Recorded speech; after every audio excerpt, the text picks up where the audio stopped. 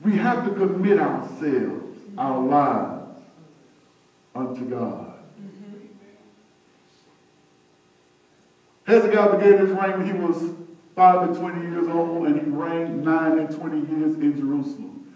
And his mother's name was Abiah, the daughter of Zechariah. When he was 25, 25. We get 30 and say, I'm waiting on the Lord. 35, I'm still waiting on the Lord. Hey, hey. 40, I'm waiting on God.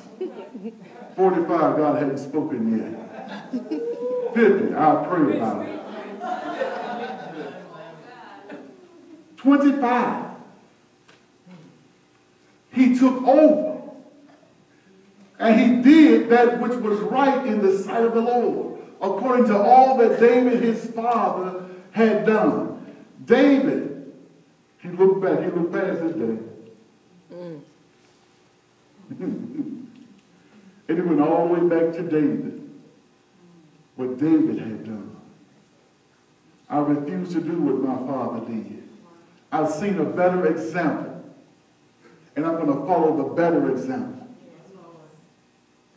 He said, he could have easily did what his father did and continued the practices of keeping God's house closed. Lack of prayer, lack of seeking him, lack of worship, lack of praise. He could have easily said, you know, this is who I am. Ah, We've always done it this way. oh, yes. This is what I know. Many of us hold back on that. I've always been like this. Wow. My mama did it like this. My daddy did it like this. My old pastor did it like this. My, my, my. But we know it's wrong. And we won't dare shift from it to what we know is right. Because we don't want the people to fight against us. So we'll hold our peace and continue in wrong because of the folks and what folk will say. But remember, you were chosen to make a difference, not to be a part of the same. You were called to advance the kingdom of heaven in the earth. Not to keep pressing the earth forward. But so often we forget. Next verse. He, in the first year of his reign, in the first month, opened the doors of the house of the Lord and repaired them. Going against the status quo, going against what was going on. They've been doing it for years, but he's fighting it. He was bold enough to commit himself to change back to what God would have it be. Mm. And he brought in the priests and the Levites and gathered them together in the east street, which was the priest's area. And he said unto them, Hear me. Ye Levites, sanctify now yourselves and sanctify the house of the Lord God of your fathers, and carry forth the filthiness out of the holy place. Let's hold it. He called in the leaders. And he had to remind them who they were. He said, what we need to do is we need to come in, we need to first clean ourselves up, then we need to clean up God's house. You can't clean up God's house with your messed up self. So clean yourself up first. Come in. Because see, if I try to clean up God's house with my filthy self, all I'm going to do is spread more filth. Yes. It's like getting a wet rag trying to clean up oil. And all I do is smear it Yes. and make it worse than what it really was. But I said I cleaned it. Uh-huh. So I have to be clean first. And then I can come in and clean out the filth out of God's house. But nobody wants to think they have issues and problems. No one wants to think they're dirty. And anything about them is dirty. Not even their attitude. Not even their disposition. Nobody wants to feel I'm dirty. I like the way I am. But you're the only one who like the way you are. But we never consider that. I just do me. And that's the problem. You've been so selfish so long that it's all about you. It's all about you. God can't get a way in anywhere because it's about you. You're so busy doing you, you can't do God and God can't do you because what you blocked him out to just do you. Come on, sir. You So you can't receive counsel because you're so busy doing you. This is who I am. This is the way I've always been. But that don't make you right. That's right. That's right. Not when you measure yourself by the word of God. There's a way that seems right unto a man. Yeah. But in the end, Next verse. For our fathers have trespassed and done that which is wicked and evil, done that which was evil in the eyes of the Lord God, and have forsaken him, and have turned away their faces from the habitation of the Lord, and turned their backs. Not only turned their faces, but they turned their backs on the house of God. Also, they have shut the doors of the porch and put out the lamp. My God, even turn the lights out.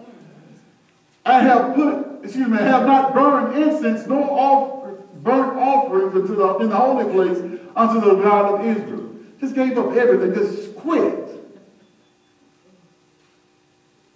Basically, let me give you an understanding of where it would be like we are now. We didn't shut down the temple. But sometimes the word is shut down. Mm-hmm. We'll shut down the joy in the house. Mm-hmm. We'll shut down the peace in the house. yes, Lord. It become another social club mm. run by the people. Dead, dry, barren, no life whatsoever, no God to be found, just people going through religious activity. Mm-hmm. And some, some people like just religious activity because it takes no commitment. Yes. It takes no cleaning up. All I have to do is put my best suit on and my church face, mm. and everyone receives me. But if they knew what was on behind the mask, mm. Wherefore the wrath of God, the wrath of the Lord was upon Judah and Jerusalem, and he had delivered them to trouble, to astonishment, and to hissing. As you see with your eyes, you can see the issues and the problems. You know what's going on. You hear the word on the street. It's not news to you, but you're overlooking it. You're ignoring it. You act like it is not there. But you know it's there. You know deep down inside the truth. But since you're so busy being you and doing you, nobody's opinion matters. It doesn't matter what folks say. It just doesn't matter. Because I'm going to be me no matter what. My mind is made up. Nobody can change me. I'm grown. I do my own thing. Mm-hmm. For lo, our fathers have fallen by the sword, and our sons and our daughters and our wives are in captivity mm. for this. You still going through life, and your family falling apart. You're acting like nothing's wrong. But Even the dog don't look at you no more. the cat runs and hides when they hear you turn the doorknob. But yet all is well. Finances on lockdown. No matter how much money you make. You bring it in plenty, but it's never enough. Bills are piled up, we're months behind. Now we're going to figure out who we're going to pay and who's not going to get paid this month. Because when you look at your check, you know it's more than enough to handle your bills. And you can't figure out what's happening. Hmm. Now it is in my heart to make a covenant with the Lord God of Israel that his fierce wrath may turn away from us. I'm taking it upon myself to go to God. But I can't do it by myself. So what I need is all of you to clean yourself up, clean up the house of God, so he'll, we can show that we are trying, mm-hmm. and we are turning, and we are shifting. I can't do it alone because I'm not coming on behalf of myself. I'm coming on behalf of the church. Hmm. And if you're going to be a beneficiary of the shifting and the changing, you have to make some shifts and change also. Can't leave it all on the apostle. Mm-mm. Can't leave it all on his back.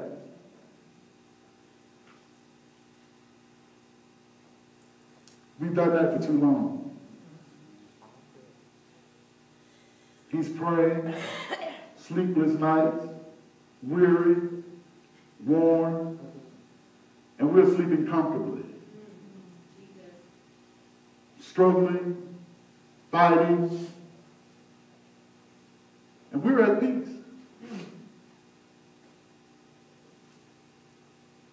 And then the next thing we holler, well, what we gonna do now, Pastor? Yes, sir. You're right. Well, he'll come back and say, we need to pray. Mm. But five people will show up. Come on now. Because see, that's not what you wanted to hear. You didn't want to hear that. You didn't want to hear the truth. You wanted to hear something that sounded good, that was comfortable for Come you, where you are. Yeah. And to bring you out of your comfort zone is a no-no. I get my nails done at that time. What? The ball, the ball get, Bama play, what? Bama playing at that time, no, no. Ah. That ain't finna happen. But you want the change. But you care about the cares of this life Come on now. more than the spiritual change that you need. Wow. You can't have it both ways. Yeah, yeah. Either I love the Lord or I don't. Come on now. Either I want a spiritual shift or I don't. Yeah, yeah. Wow.